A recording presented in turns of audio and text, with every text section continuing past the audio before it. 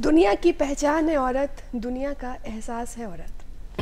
नमस्कार प्रणाम मेरा नाम है रिचा बहुत बहुत स्वागत है आपका हमारे इस बेहद खास कार्यक्रम बिहार बिहान में। और आज ही बहुत ही महत्वपूर्ण दिन है। आज है महिला दिवस। महिला दिवस की आप लोगों को बहुत बहुत बधाई। साथ ही साथ आज हम महाशिवरात्रि भी मना रहे हैं। तो जितने भी दर्शक हैं उन पर शिव जी की कृपा बनी रहे। ये आ, हमारी हमारे तरफ़ से एक एक संदेश ये भी है कि आज जो है बहुत हर हर जगह पे आज महिला दिवस मनाया जा रहा है, अंतर्राष्ट्रीय महिला दिवस मनाया जा रहा है। हम महिलाओं के सम्मान की बात कर रहे हैं, महिलाओं के अधिकार की बात कर रहे हैं। महिलाओं ने जो इतने सालों से संघर्ष किया है और आज कंधे से कंधा मिला के वो चल रही है, आज हम उसकी बात करेंगे। चलिए, कार्यक्रम की शुरुआत हमेशा की तरह हम अनमोल वचन के साथ करते हैं तो आइए पहले देखते हैं कि आज का अनमोल वचन क्या है।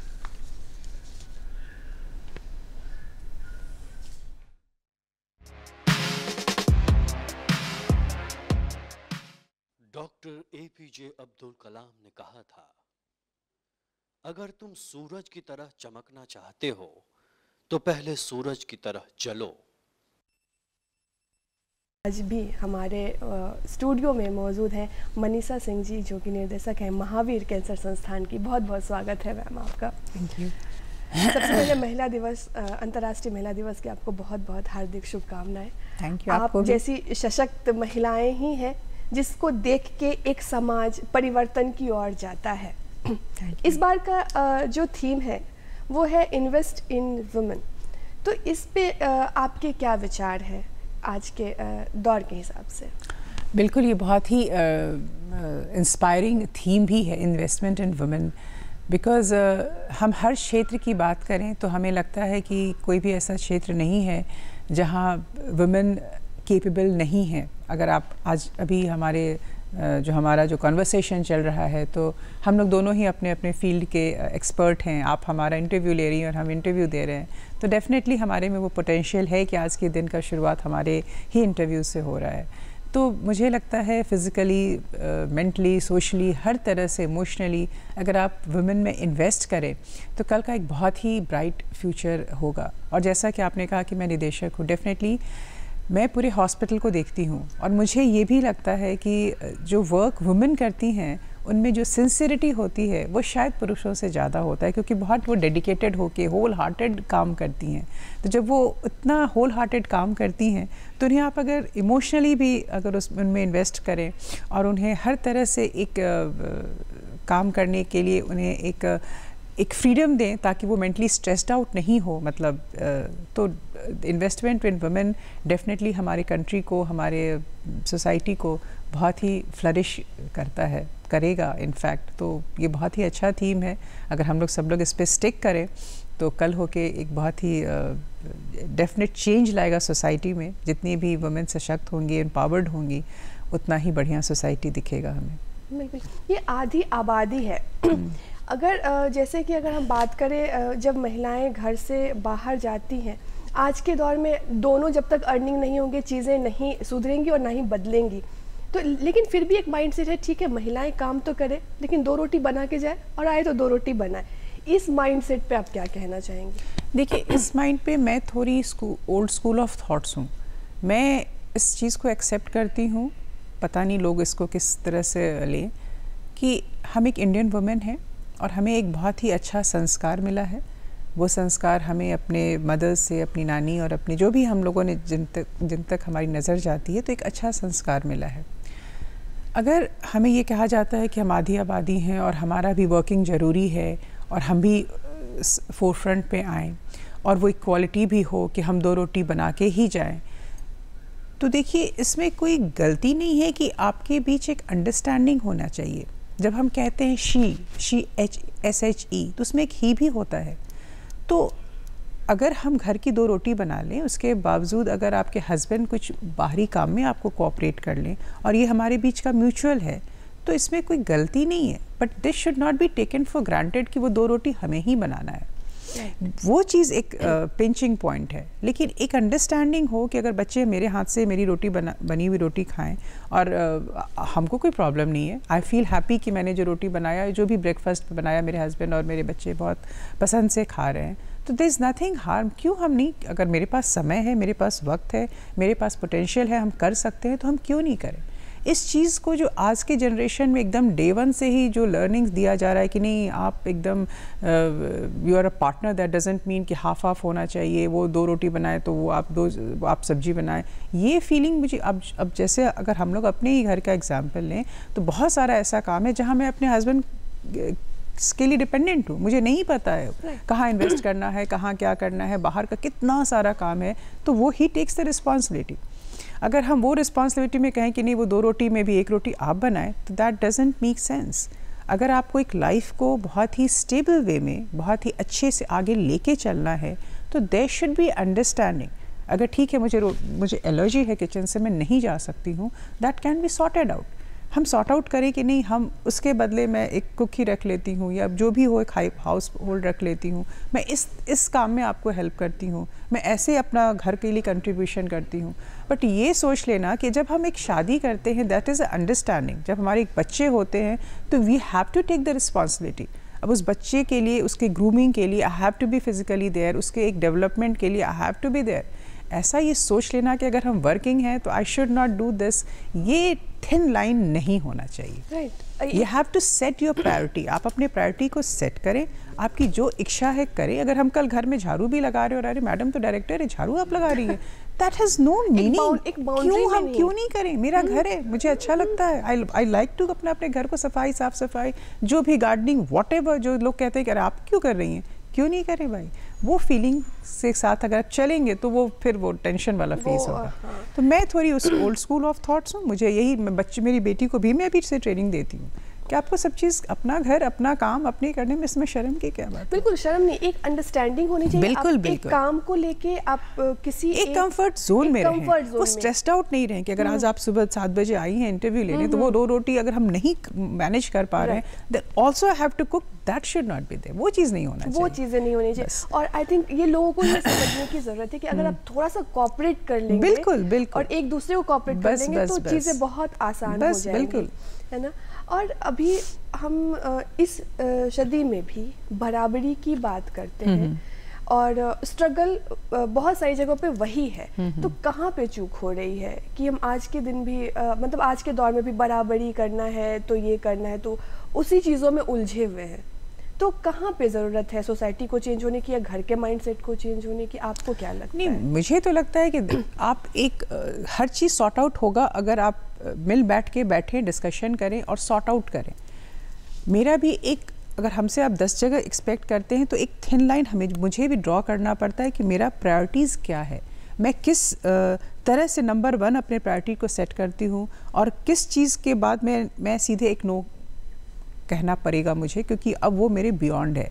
तो बहुत ही जेंटली और बहुत ही पोलाइटली मुझे भी ना कहना पड़ता है बहुत जगह कि नहीं ये मेरे से नहीं होगा।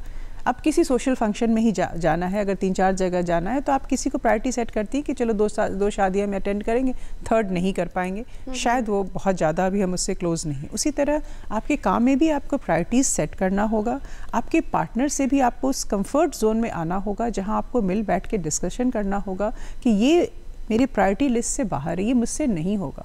अगर उसमें भी अगर पुश किया जाएगा तो जाके फिर वो टेंशन वाली बातें फिर शुरू होती है लड़ाई झगड़ा शुरू होता है, फिर वो सेपरेशन और डाइवोर्स की बातें होने लगती है। तो मुझे लगता है वो लैक करता है। और कहीं भी अगर हम अच्छे से मिल बैठ के हम लोग सॉर्ट आउट करें तो कोई मेल मेंबर आपका काउंटर पार्ट भी तो कोई पागल थोड़ी है, वो भी तो एक इंसान ही है, वो भी समझेगा कि कहाँ पे हमें कैसे बैलेंस करना है। वैसे इतना इजी भी नहीं होता है। Definitely this is not that easy but उसको इजी आपको बनाना है, क्योंकि अगर आप एजुकेटेड हैं, पढ़े लिखे हैं, वो दायरा, वो सीमा आपको डिसाइड करना है कि हम कैसे गो अबाउट करें। और करना है, लेकिन प्रॉब्लम वही होता है ना कि आप ईगो में रहते हैं। You don't want to express that out आपने कहा ना, वो चूक क्या है? वो चूक हमारा ईगो है। हम एक्सप्रेस नहीं करना चाहते। I take it for granted कि हम ऐसा है तो ऐसा होगा। मतलब why should I express that out नहीं, वहीं पे गलती होती है। जो ईगो है, वो हम नहीं झुकेंगे तो हम नहीं झुकेंगे। I should say sorry first आप तो आप, वो वाली प्रॉब्लम होती है। वहाँ थोड़ा सा अगर हम कंपेसनेट हो थोड़ा सा दिमाग से काम लें थोड़ा सा डाउन टू अर्थ हम्बल्ड हो तो मेरे ख्याल से थिंग्स विल सॉर्ट आउट अब ये सोच लेना कि नहीं, हम तो उस पोजीशन पे हैं वाई शुड आई हर बार मुझे क्यों झुकना है? पर झुकना है किसके लिए? मुझे अपने बच्चों के लिए, मुझे अपने फैमिली के लिए। तो अगर थोड़ा सा अगर मैं झुक भी गई कभी तो हो सकता है कि सिचुएशन आए, मेरे हस्बैंड भी कल होके वो भी झुकेंगे। तो वो थोड़ा सा जो ईगो जो आ गया है ना आजकल लेडीज़ में कि नहीं, झुकना तो है ही नहीं। दैट शुड बी अ गलत thing and mothers should also not teach their children बच्चों को भी माँ से वो एक गाइडेंस मिलना चाहिए कि बेटा थोड़ा सा हम्बल्ड सबको रहना है। हर फ़ील्ड में आप जहाँ अपने जॉब में हैं, वहाँ भी, आपके घर पे भी, हर जगह। वो एक फ़ी एक एग्रेशन जो बच्चों में जो दिख रहा जा रहा है कि नहीं that should not be the developmental वो नहीं होना चाहिए। वो मैं मुझे ऐसा लगता है कि जहाँ आपके साथ लगता है कि नहीं दिस इज़ टू मच वहाँ तो डेफिनेटली आप अपना वॉइस उठाएँ रेज करें आप सप्रेस्ड भी नहीं रहें वो भी मैं नहीं कहती हूँ बट सॉर्ट आउट करें तो things will come in better shape हर एक चीज़ का समाधान समाधान बिल्कुल होता है। और बहुत बहुत बेहतरीन बातें भी हो रही हैं और आगे भी बहुत सारी बातें करेंगे कहीं मत जाइएगा मिल, मिलते हैं एक छोटे से विराम के बाद।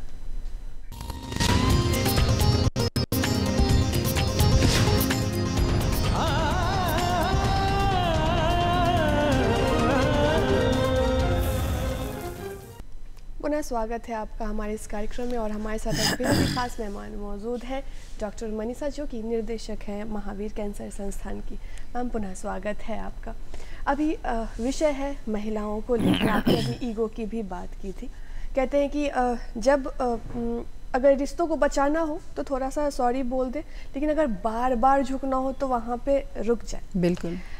सशक्त महिला जो होती कभी कभी बहुत पढ़ी लिखी महिलाएँ भी जो है अपने लिए आवाज़ नहीं उठाती। और कभी कभी आप देखेंगे कि वो, महिला को पढ़ना भी नहीं आता है लेकिन वो बहुत सशक्त है। तो सशक्त होने के लिए पहला कदम क्या होना चाहिए? ऐसा क्या वो पहला स्टेप ले कि उसे लगे कि अब हम सशक्त हो गए ऐसा क्या? सशक्त होने के लिए मुझे लगता है कि आपकी जो दिल का आवाज़ है मतलब जो मेरा कॉन्शियस कहता है उसको हम सुने और उसको नज़रअंदाज नहीं करें। मतलब मेरी जो इच्छा है, ज़रूरी नहीं कि सशक्त महिला का मतलब डॉक्टर, इंजीनियर ही बनना होता है बड़े बड़े पोस्ट को होल्ड करना ही होता है। अगर आप एक सोशल वर्कर भी हैं, आप समाज के लिए भी काम करना चाहती हैं, या वॉट जो भी आपका पैशन है पैशन का मतलब वॉट जो भी आप चाहती हैं, वो फुलफ़िल करने को ही हम कहते हैं कि हमारा, और हमारे में वो पोटेंशियल है, हम करना चाहते हैं।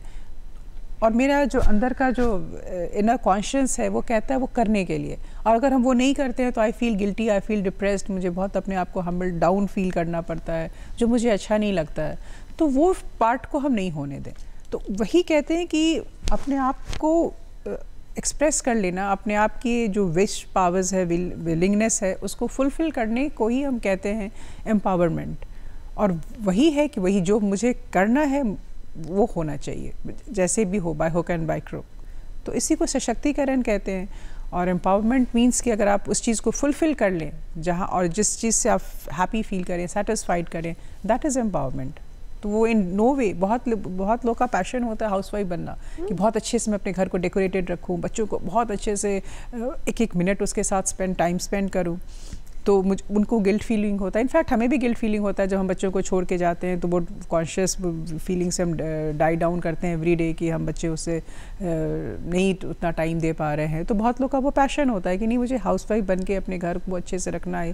That is also empowerment you wish कि हमारा सारा जो जिस प्लानिंग से हम करना काम चाहते हैं, अगर वो फिलफुल हो that is also empowerment there is nothing कि हम कुछ बन के ही वो हासिल करें। मुझे से मुझे ऐसा नहीं लगता। अगर बच्चों के लिए हम ट्यूटर नहीं रख रहे हैं हम खुद ही पढ़ा रहे हैं और आई फील सेटिस्फाइड कि नहीं जो जो ट्रेनिंग हम दे रहे हैं शायद वो कोई ट्यूटर नहीं दे पाए।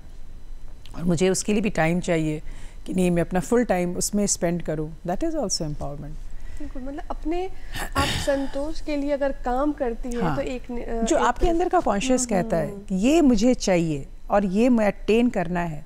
दैट इज़ एम्पावरमेंट बिल्कुल और ऐसी महिलाएँ जो आ, नहीं कुछ कर पाती हैं उन, हम्म। उन्हें लगता है कि आ, उन्हें अच्छा ही बन कर हम्म। जैसे कि हमें लगता है कि अच्छा बन के रहना कहीं ना कहीं आप लोगों के लिए बेहतर तो बन जाते लेकिन खुद हम्म। के लिए बेहतरीन नहीं बन पाते वही उसी उसी को हम लोग एक्सप्लोर कर रहे हैं जो वुमेंस डे है उसी को एक्सप्लोर कर रहे हैं कि जो हम चाहते हैं वो हम नहीं बन पा रहे हैं तो अब वहाँ कहाँ कहाँ से हडल्स आ रहा है कोई ये ऐसा बहुत ही हडल जो है, वो छोटा सा हडल है तो हम उसको क्यों नहीं पार कर पा रहे? हैं किसी के सपोर्ट से भी हम क्यों नहीं आगे बढ़ पा रहे? हैं लेकिन उसमें कोई बहुत बड़ा हिंड्रेंस है जो उस हर्डल को पार नहीं करने देना पा रहा है और मेरी इच्छा पूरी नहीं हो रही है। देर इज़ द पॉइंट जहाँ हमको फाइट करना है। जहाँ हमको स्ट्रगल करना है फाइट करना है उस जो हर्डल है उसको हमको पार करना है anyhow by hook and by crook because because हम उसके नहीं होने के चलते डिप्रेस्ड फील कर रहे हैं आई एम फीलिंग डाउन उसको पार करना है। दिस इज़ वमेन एम्पावरमेंट हर बार हम्बल्ड uh, होना और हम्बल झुक जाना और डाउन टू अर्थ रहना ये सोच के मेरे ऐसे करने से लोग खुश होते हैं। लेकिन नहीं अगर लोग खुश होते हैं और मैं खुश नहीं हूँ तो दिस इज़ वमेन एम्पावरमेंट कि उस उस जोन uh, को हम उस जोन से हमको निकलना होगा। तो लाइफ का दोनों एस्पेक्ट है। There is one aspect way I need to be get down मतलब मुझे हम्बल रहना है डाउन टू अर्थ होना है because this is my choice लेकिन एक पॉइंट है जहाँ मुझे आगे बढ़ने नहीं दिया जा रहा है, और नहीं बढ़ने दे, देने के चलते जो हर्डल्स है वो उससे लोग प्लीज़ हो रहे हैं बट मैं डिसप्लीज़ हो रहा हूँ। नहीं, वहाँ दैट इज़ अ जोन जहाँ उससे निकलना होगा। पढ़ाई लिखाई इज़ समथिंग वो दूसरा दिशा है। That that is nothing to do with your empowerment empowerment her field में आप अपने आप को एम्पावर्ड कर सकती हैं जो आपका लाइकिंग है जो आपका चॉइस है। एक बोलने की आज़ादी होनी चाहिए हम्म, हम्म। आप अपनी बातों को रख सकें। बिल्कुल I mean, वो घर में अगर वो हाउस हाउस मेकिंग मतलब अच्छे से घर में भी है वो घर का भी काम करे लेकिन घर में भी एक ओपिनियन रखती है और उसके ओपिनियन को मान लिया जाता है। आई थिंक वही एम्पावरमेंट हुआ। आप आपके बातों को वजूद दिया जा रहा है, उसको वैल्यू किया जा रहा है, आपके इम्पोर्टेंस को लोग महसूस करवाया जा रहा है कि you are also part of important ऐसा नहीं कि हम हाउस वाइफ हैं तो मेरा काम बस वो खाना बनाना ही है। जब भी भी कोई इंपॉर्टेंट मीटिंग होती है, घर की जो बैठक बैठती है, उसमें मेरे बात को भी वैल्यू दिया जा रहा है तो उस चीज़ को she should be made to feel कि नहीं, आपका भी क्या कहना है that is to be valued मतलब अगर हम मेरा चॉइस था कि हम बस घर में खाना वाना बनाएँ तो बस वही आपका डोमेन है? नहीं, ऐसा नहीं है। You should be made to feel कि नहीं, आप वुमेन हैं और लोग आपको वैल्यू करते हैं जो भी घर के लोग अन्य सदस्य हैं अगर आप हाउस वाइफ हैं तो यू आर ऑल्सो वैल्यूड यही वजह है कि लोग उस दायरे से निकल कर आज काम करना चाहते हैं। उनको लगता है कि नहीं जो वर्किंग लेडीज़ है उन्हीं उन्हीं को ज़्यादा सेल्फ रिस्पेक्ट है और उन्हीं के लिए ज़्यादा माइंड सेट है। माइंड सेट है। हम्म, हम्म। तो उस चीज़ से ऐसा नहीं है लेकिन अगर वो आपका चॉइस है कि नहीं इस दायरे से निकल कर मुझे कुछ भी एक छोटे से स्कूल टीचर या जो भी पाँच दस बीस हज़ार का भी अर्निंग अगर मैं करना चाहती हूँ तो there she should fight out वहाँ मुझे लगता है कि आप अपनी फीलिंग्स को सप्रेस ना करें। और ऐसे भी जब आप, लगता है कि नहीं, मुझे मुझे वो इम्पोर्टेंट नहीं समझा जा रहा है, किसी भी डिस्कशन में या किसी भी चीज़ से मुझे बी ग्रेड ठीक नहीं आपका काम तो बस डोमेन है चूल्हा चौके तक। तो उस तरह से वो चीज़ नहीं होना चाहिए। वो हर्टिंग है थोड़ा। वो हर्टिंग और ये बात बहुत ही सच में बहुत ही बेहतरीन बात आपने मैम अभी कही कि जो औरतें वर्किंग हैं वही समृद्ध नहीं है। अगर आप वर्किंग नहीं हैं आप घर भी देख रही हैं आप बच्चे भी देख रही हैं और आप ऐसी चीज़ें देख रही हैं जिसको लोग कहते हैं अच्छा ये तो हाउस है ऐसा। लेकिन ये सिर्फ़ ये एक बाँध देना कि हम्म। आप एक डॉक्टर हैं आप एक इंजीनियर हम्म। हैं आप बाहर हम्म। काम करती तो ही आप एम्पावर हैं ऐसी बात नहीं है तो जो महिलाएँ अगर हमें देख रही हैं वो घर क्योंकि घर भी संभालना बहुत बड़ी ज़िम्मेदारी बहुत, बहुत, बहुत बड़ा मैनेजमेंट स्किल है ये। क्योंकि एक एक चीज़ के बारे में ख्याल रखना वो बहुत बड़ी बात है। तो इस चीज़ को हम डिनाई नहीं कर सकते कि वो अपने आप में एक बहुत बड़ा जॉब है। आपने 19 साल दिया है इस सफ़र में। आप खुद एक महिला हैं आप माँ हैं आप वाइफ है और बहुत ही बेहतरीन है जो आपका प्रोफ़ाइल है। आप इस फ़ील्ड में कैसे हैं? आपकी प्रारंभिक शिक्षा दीक्षा कहाँ हुई और किस तरीके से इस फ़ील्ड में आना हुआ? मैं बेसिकली पटना से ही हूँ और सेंट जोसेफ्स कॉन्वेंट पटना से मेरी स्कूलिंग हुई है। तो स्कूलिंग अच्छे जगह से हुई हूँ और मैं पढ़ने में बहुत ही अच्छी थी। तो जब मैं बहुत छोटी थी उस समय से ही मेरे घर में कोई डॉक्टर नहीं था। तो मेरे फादर को बहुत था कि मेरी बेटी डॉक्टर बनेगी। उस समय हमको जब हम बहुत छोटे होते हैं तो वो फीलिंग नहीं होता है कि डॉक्टर बन के समाज को सर्व करना है। वो सब तो बड़े होने के बाद वो सब आता है। लेकिन मुझे क्लास नर्सरी या वन से ही मेरे कान में हॉन्ट होता था कि मेरे पापा कहते थे कि अरे ये तो बहुत तेज है, डॉक्टर बनेगी डॉक्टर बनेगी। तो मैंने उस स्टेटमेंट से ही मैं ग्रो की।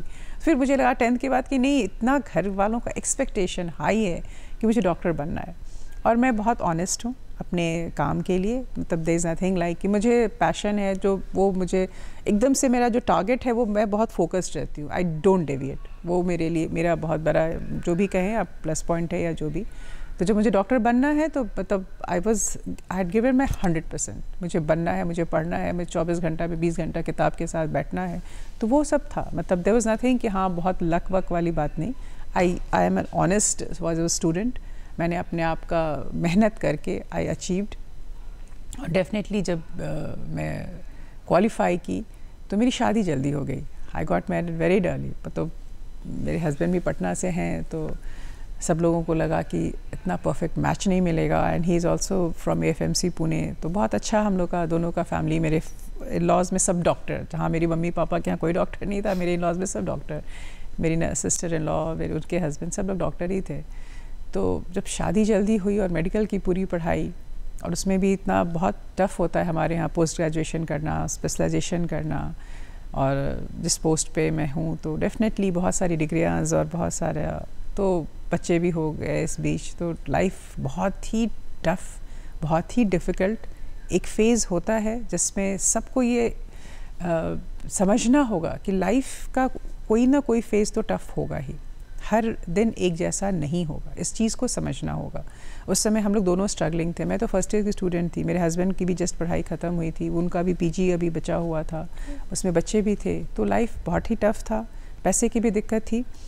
इन द वे कि घर वाले आपको uh, सब चीज़ के लिए सपोर्ट करेंगे। कोई लग्जरी के लिए तो आपको uh, नहीं दे सकता है। तो टफ फ़ेज़ ऑफ़ लाइफ था। लेकिन uh, मेरे पेरेंट्स भी और या जो भी था मतलब हरदम हम लोग को ना एक पॉजिटिव वे में गाइड करते थे कि कभी डिस्ट्रक्टिव वे में अगर लोग आपको गाइड करना शुरू करेंगे ना कि नहीं तुम इससे रिवोल्ट करो, वैसे करो, ये करो, वो करो, वो चीज़ कभी नहीं होना चाहिए।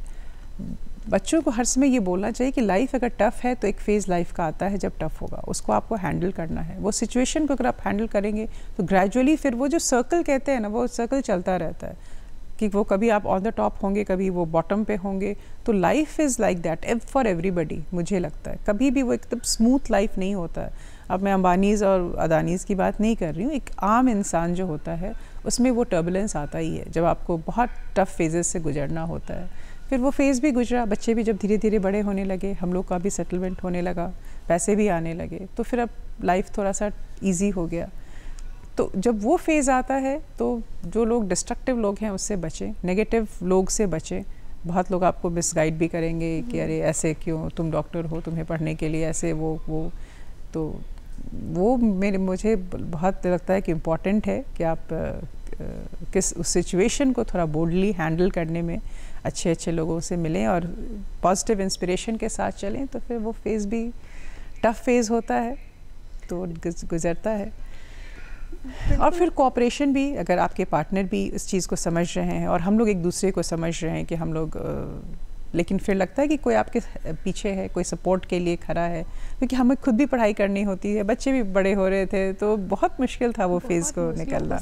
और मेडिकल की पढ़ाई और मेडिकल के मेरे बहुत सारे कॉम्पिटिटिव एग्ज़ाम्स हैं ऐसा नहीं कि बस मैं एमबीबीएस कर लिया वो लाइफ ख़त्म हो गई वहाँ पर बच्चे को भी देखना अपनी स्टडी को भी देखना और बहुत सारी जिम्मेदारियाँ हैं। आप बहू भी हैं बहू आप भी हैं। वाइफ भी हैं आप किसी की चाची नानी मामी बहुत सारे रिश्तेदार हैं और जो आपके घर से मतलब बहुत सारी रिस्पॉन्सिबिलिटीज मतलब एक रिस्पॉन्सिबिलिटी को निभाते हुए आगे बढ़ना इस टफ जॉब बहुत बहुत टफ टास्क है। महिलाओं की ज़िंदगी हमेशा से टफ रही है लेकिन उसके पास ईश्वर का दिया हुआ एक ऐसा वरदान है कि उसको हैंडल कर सकती है। चलिए इस इस विषय पर और भी बात करेंगे। वक्त हो चला है एक विराम का। मिलते हैं एक विराम के बाद।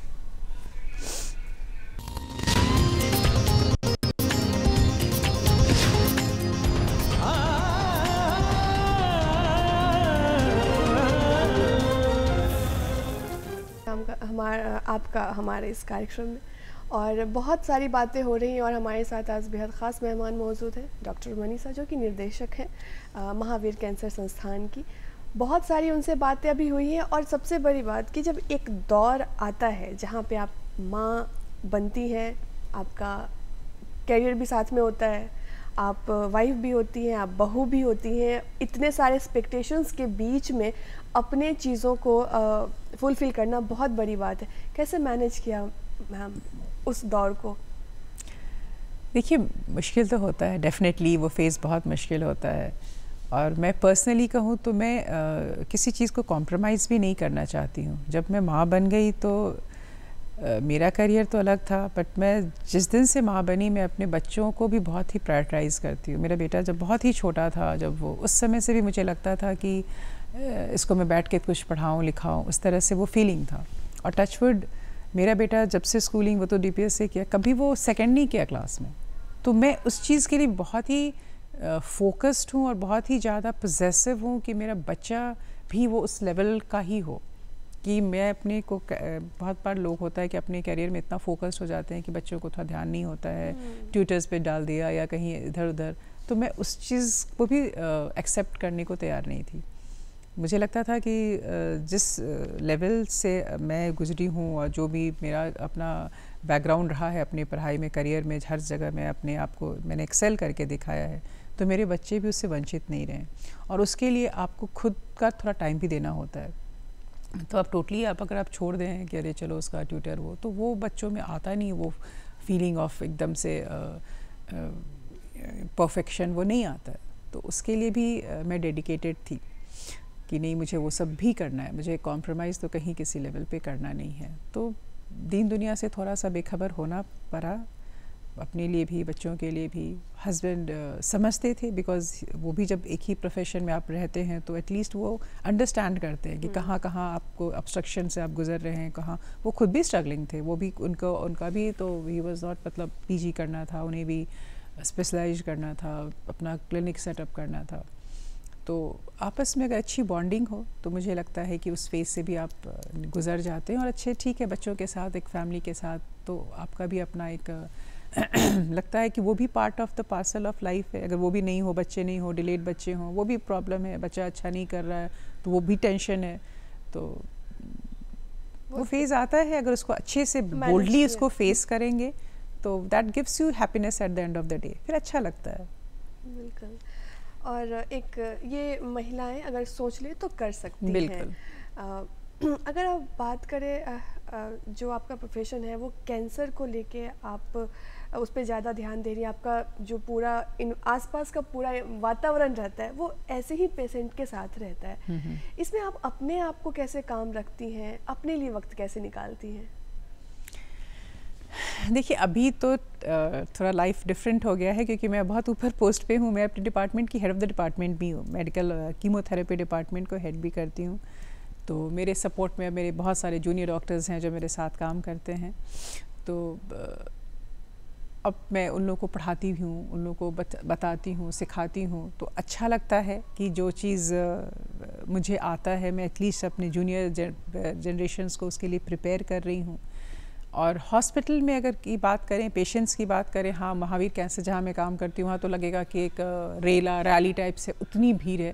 पेशेंट्स को आप बिलीव नहीं करेंगे कि ये पूरा कैंसर हॉस्पिटल और सारे कैंसर के पेशेंट और एक साथ वो हज़ारों पेशेंट को देखे तो लगेगा कि नंबर लग, लंबा, लंबी लंबी लाइनें लगी रहती हैं आपको रजिस्ट्रेशन कराने के लिए, सारे कैंसर पेशेंट्स।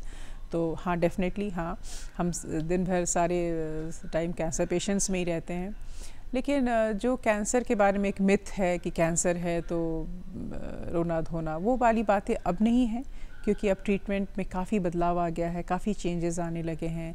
हम एवरी डे कितने सारे ऐसे पेशेंट्स हैं जो कैंसर सर्वाइवर हैं एवरी डे उनसे मिलते हैं कि, मैडम, आप दस साल पहले आपने इलाज किया था, मैडम बहुत अच्छा क्योंकि फॉलोअप में तो उनको लाइफ लॉन्ग आना ही है। ऐसा नहीं कि आपने ट्रीटमेंट कर लिया तो लाइफ लॉन्ग साल में एक बार तो फॉलोअप के लिए हम लोग बुलाते हैं पेशेंट्स को।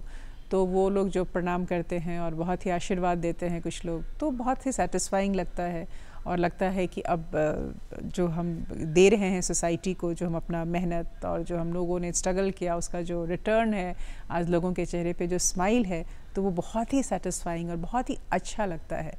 और जब भी कोई चैलेंजिंग केस आता है, उसके लिए हम लोग भी स्ट्रगल करते हैं और कोशिश करते हैं कि किसी तरह इसको ठीक करें तो वो हमारे लिए भी एक चैलेंज है, एक पैशन है। लेकिन अभी भी जब पेशेंट्स बहुत लास्ट स्टेज में आते हैं या बहुत ही ख़राब कंडीशन में होते हैं तो हम लोग को भी दुख लगता है।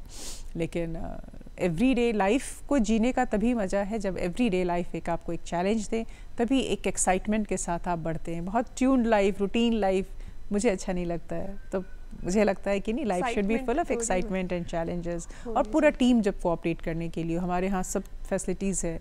सर्जिकल ऑन्कोलॉजी अलग है medical chemotherapy radiation pathology PET scan बहुत सारे फैसिलिटीज़ के साथ हम इंटर डिपार्टमेंटल काम करते हैं। अच्छी अच्छी कामें करते हैं। ट्यूमर बोर्ड होता है जहाँ हम लोग सब ऐसे केसेस को रिप्रेजेंट करते हैं कि किस तरह से पेशेंट्स का हुआ और ये सब पेशेंट भी ठीक हुए। तो अच्छा लगता है। You give something to the society as Mahavir cancer Sansthan पूरे भारत में।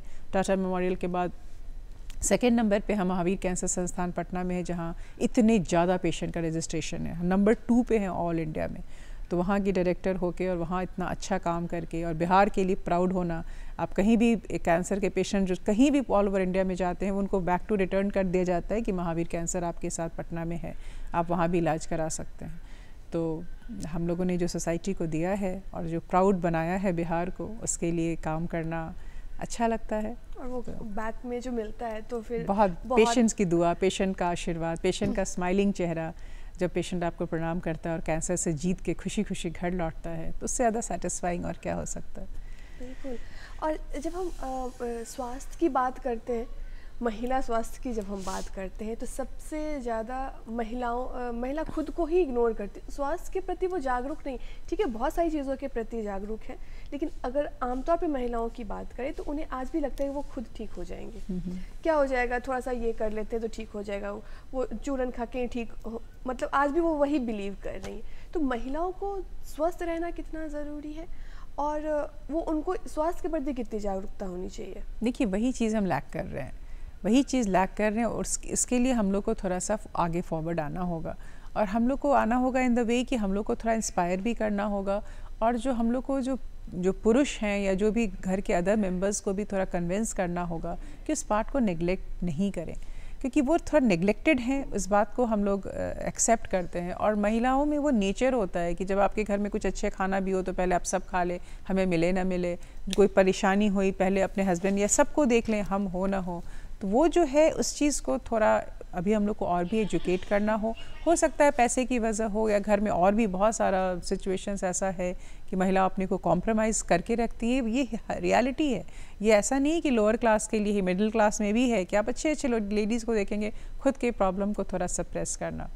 तो वो आपके माध्यम से न्यूज़पेपर सबके माध्यम से हम लोग को वुमेंस को जागृत कराना हो क्योंकि आप आप ही घर की बैकबोन है। अगर आपको कुछ हो गया कल तो फिर पूरा घर बैठ जाएगा। बिल्कुल। तो अभी भी हमारे पास जो लेडीज़ जो कैंसर की बहुत बड़े एडवांस स्टेज में आती हैं उनके साथ भी वही है। कि प्रॉब्लम था लेकिन मैडम कोई ज़्यादा दिक्कत नहीं था ज़्यादा दिक्कत नहीं था। और जब ज़्यादा दिक्कत हुआ तो आप तो स्टेज थ्री या स्टेज फोर में आ गए। तब तो हमारे हाथ में भी बहुत कुछ नहीं रह पाता है। तो उस चीज़ को थोड़ा सा हमें और भी थोड़ा अपने सोशल प्लेटफॉर्म के थ्रू माध्यम से लोग लेडीज़ को जागरूक करना होगा कि नहीं, हमें, हम ही इस घर के बैकबोन हैं, हम स्वस्थ रहेंगे तो शायद हमारा घर और भी स्वस्थ रहेगा।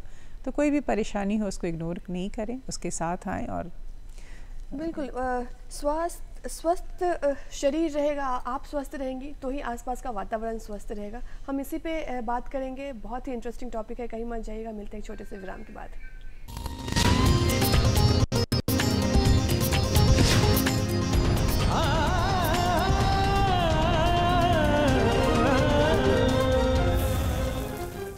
पुनः स्वागत है आपका और हम लोग बात कर रहे हैं कैंसर पे, महिलाओं से जुड़े स्वास्थ्य पे और हमारे साथ इसी विषय पर बात करने के लिए मौजूद है मनीषा मैम, जो कि निर्देशक हैं कैंसर महावीर कैंसर संस्थान की। मैम, पुनः स्वागत है आपका। महिलाओं में दो कैंसर बहुत ज़्यादा देखने को मिल रहे हैं। एक सर्वाइकल कैंसर एक ब्रेस्ट कैंसर इसके लक्षण क्या हैं? ये दर्शकों को पता है, क्योंकि महिलाओं को पता ही नहीं होता। जैसे आपने कहा ना कि वो जागरूक ही नहीं है कि उन्हें भी कुछ हो सकता है। लास्ट स्टेज पे आके उन्हें पता चलता है। तो ये दो जो कैंसर हैं तो इनके क्या लक्षण हैं महिलाओं में? और उनको क्या देखिए एक बार जान लें कि कभी भी कोई जब लक्षण आता है ना तो ये कैंसर का मतलब है कि स्टेज आगे निकल चुका है।